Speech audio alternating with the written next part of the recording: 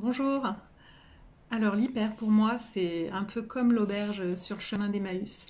Quand j'ai frappé à la porte de l'hyper, je cherchais à retrouver du sens euh, à mon engagement dans l'Église, puis à retrouver aussi les sources euh, de ma foi.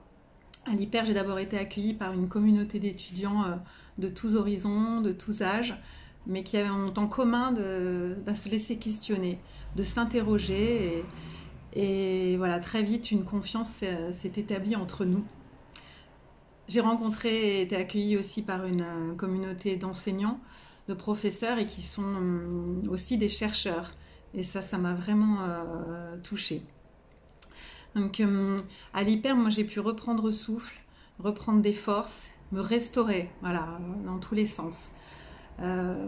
J'ai pu me questionner sur ma posture d'aumônier, et puis apprendre à, la nourrir et puis à la relire grâce à l'analyse de pratique, aux sessions sur l'accompagnement humain et spirituel.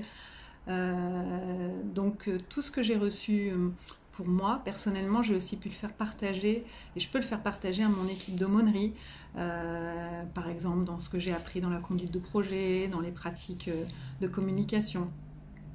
Donc l'hyper pour moi, c'est vraiment un chemin de transformation un chemin de, fondation et puis un chemin de conversion aussi. Donc, hum, ben, merci à l'Hyper euh, de m'avoir aidé à grandir et puis je vous dis à tous à bientôt.